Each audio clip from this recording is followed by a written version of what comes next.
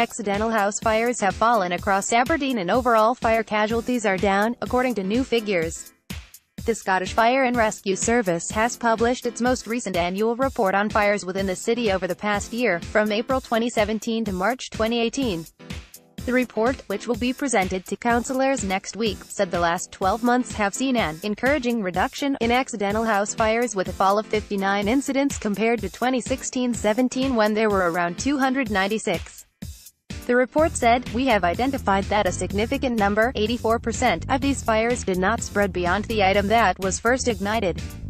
During this period 55% of dwelling fires had self-extinguished resulting in minimal impact for householders.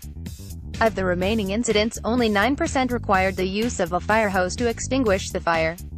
The report said the targeting of home fire safety visits to those who may benefit appears to be successful in raising awareness of the risk of fire in the home. Figures also show that the number of overall fire casualties fell from 40 in 2016-17 to 34 in 2017-18.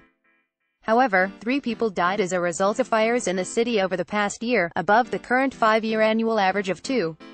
The report said, the service will continue to aspire for zero fire deaths. Unfortunately, during the reporting period the number of fire casualties increased by one compared to the previous year. Case studies are carried out involving key partners following all fatal fire deaths. These are used to identify the circumstances surrounding the fire and highlight any actions that can be taken to prevent recurrence. The report also reveals the number of fires started deliberately rose to 355, compared to 346 in 2016-17. But the number of deliberately started house fires reduced from 50 to 35. Members of the City Council's Public Protection Committee will consider the report when it meets on Wednesday.